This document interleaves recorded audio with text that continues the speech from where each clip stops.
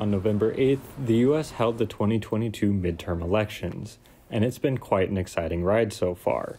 With the second largest young voter turnout of any midterm in the history of America, how are young people feeling about this election? Whitman County had like 50% turnout.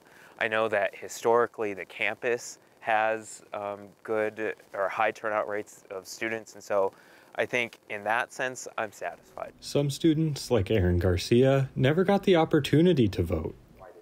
I wasn't able to vote because my ballot didn't come on time.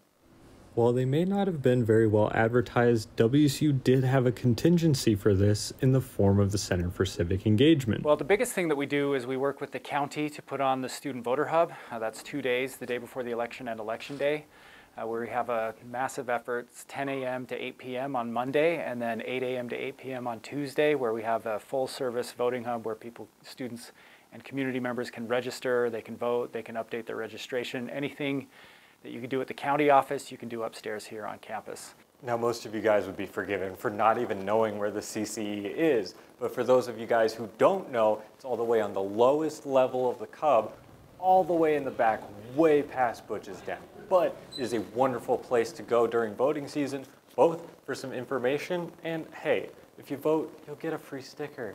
Even with the election over, we're still awaiting our final results.